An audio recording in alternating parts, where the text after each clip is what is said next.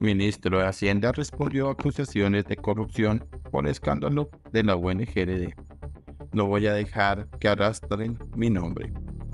Ricardo Bonilla, en su defensa durante la moción de censura, desestimó las acusaciones de Olmedo López y de Pinilla, calificándolas como chismes de prensa.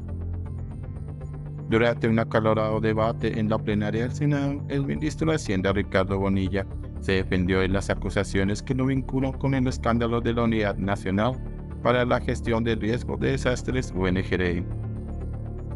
Este debate fue impulsado por el senador J. Hernández, quien argumentó que Bonilla debería renunciar a su cargo tras las declaraciones de Olmedo López y Schneider Pinilla. En su intervención, Bonilla rechazó las acusaciones calificándolas de chismes de prensa y exigió pruebas concretas. Me disculpan senadores, senadoras, pero yo no voy a dejar el rodar mi nombre. Si hay pruebas, démelas. Pero ya la corte misma encontró que todos esos son chismes de Olmedo López y Schneider Pinilla y que no tienen ninguna prueba, afirmó el ministro, según el reporte. El ministro también se dirigió directamente al señor Hernández, a quien llamó senador youtuber, y reiteró que no permitiría que su nombre fuera arrastrado por acusaciones sin fundamento. Yo no voy a dejar que arrastren mi nombre por una simple salpicada. Dime las pruebas. Yo como ministro de Hacienda puedo hablar de proyectos. Yo lo estoy direccionando contratos, añadió Bonilla. El senador J. Fernández sostuvo que, según las declaraciones de López y Pinilla, Bonilla podría haber actuado como uno de los jefes en un entramado de corrupción. Estas acusaciones han generado un intenso debate en el Senado, poniendo en el centro de la discusión la integridad del ministro y la transparencia en la gestión de recursos públicos. Las acusaciones que tienen Schneider Pinilla y Olmedo López contra el ministro de Hacienda.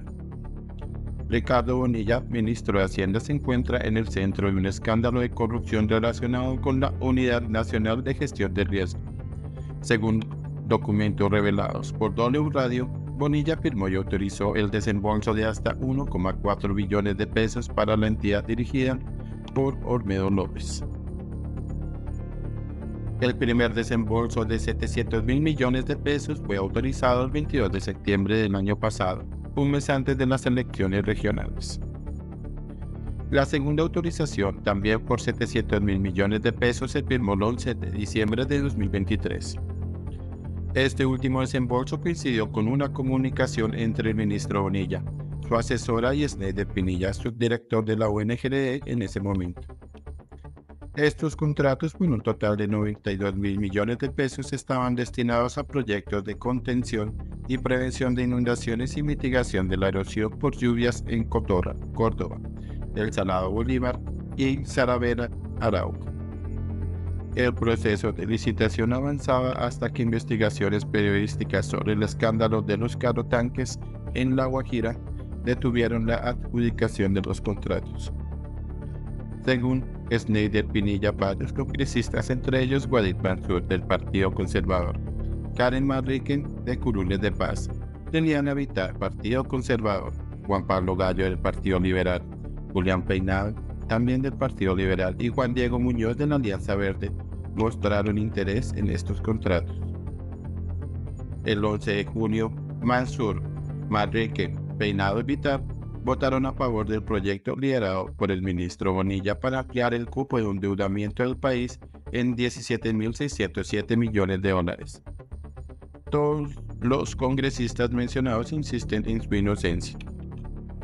El ministro Bonilla, al conocerse su aparente participación en el entramado, declaró, mi inocencia, más allá de cualquier sombra de duda, prevalecerá con pruebas y argumentos que aportará mi equipo jurídico sin distraerme en mis verdaderas obligaciones.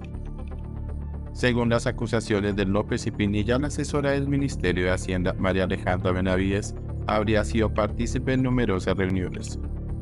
Sin embargo, un documento revelado por W Radio indica que Benavides no ingresó a la sede de la ONGRE entre el 1 de julio y el 31 de diciembre de 2023, contradiciendo las declaraciones de Olmedo López, quien afirmó que Benavides visitó la entidad alrededor de 16 veces para concretar negocios corruptos.